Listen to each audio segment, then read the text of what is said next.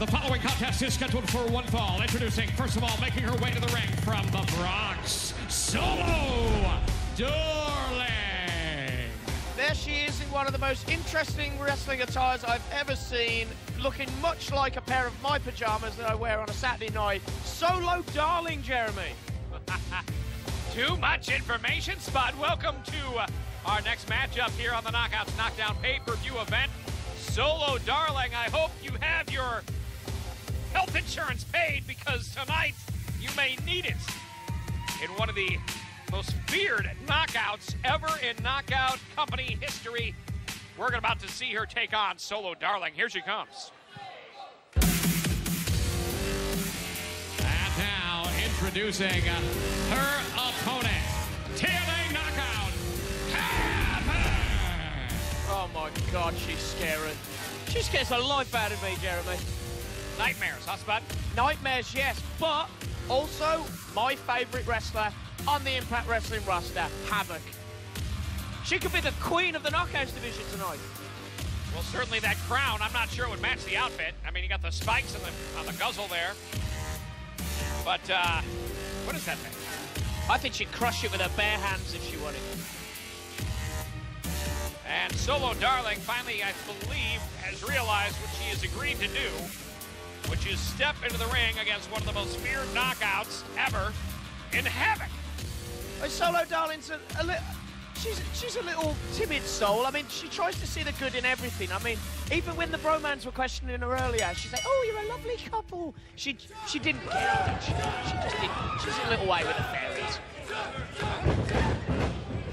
Anyone that dresses like some kind of Felix the Cat like she's wearing, I don't, I don't know. I mean, the tail has got to be, uh, Where's the ears gone? hang on a second now.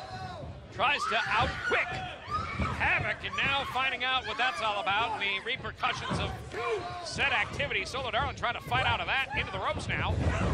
Once Right again, to the six-sided ring confusing one of the, some of the new knockouts. It's such a diverse situation to be in when you step into those six sides. It really messes up your equilibrium. Of course, these aspiring knockouts trying to impress, earn a spot on the knockouts roster, and a victory certainly would do that for somebody like Solo Darling. But however, easier said than done when you're in there with someone with the strength of Havok. Case in point, just tell you what, she's going to have to piece by piece tear down that brick wall. She's got to knock, she's got to chop that tree down, and she better have a bigger axe than what she's actually using right now. Havok's going nowhere. See? Too big, too strong, too powerful.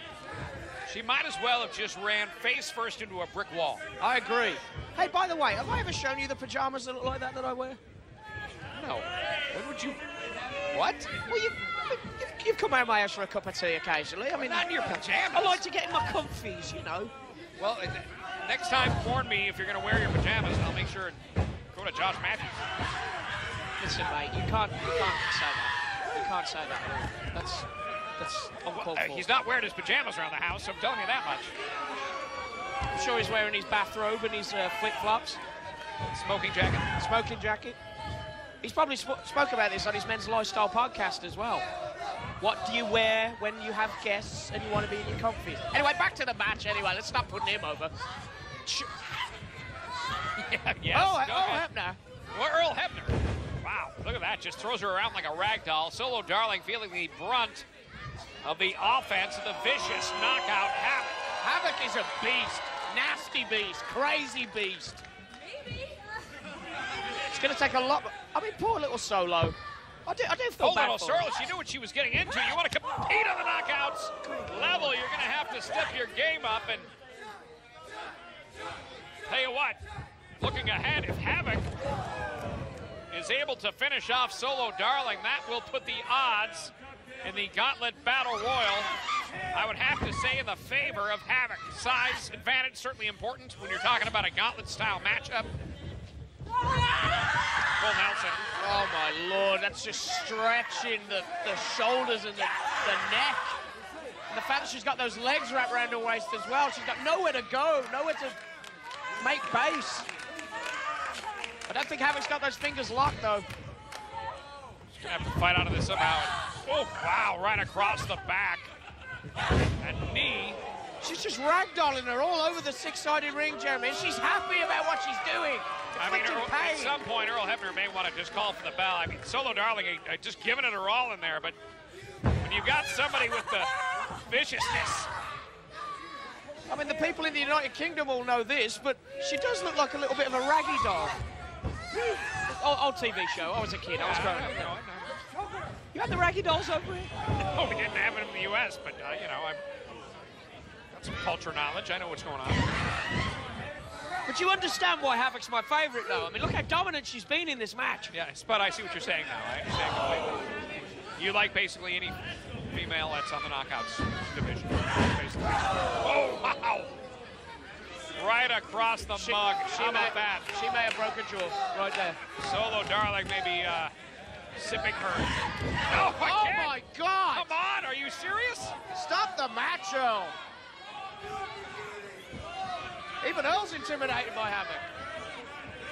She might be drinking her meals through straws and goes for a third time, and Solo Darling somehow able to find the fight inside.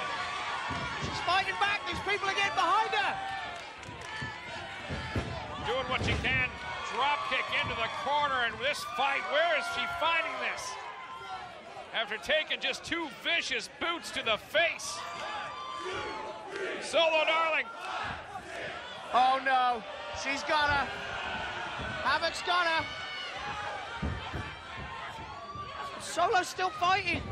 Hurricanrana, Jeremy. How did she do it? Solo Darling has Havok right where she wants her, a fury of offense. She's got it down.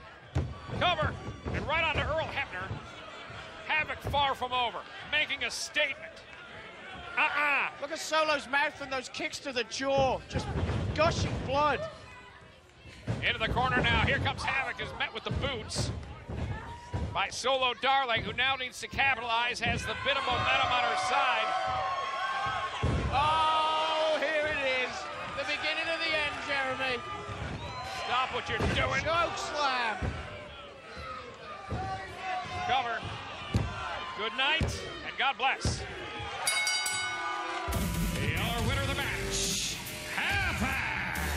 Favorite advances, Jeremy.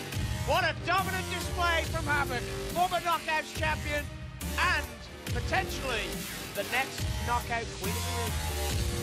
Can you imagine later on if that crown be placed on top of the nug of Havok? We're going to find out later on. She's going to have to compete against Madison Rayne, Gail Kim, and Thea Trinidad, who qualified in our previous matchup. Four knockouts so far, more to come, and up next, we are going to see TNA Knockout in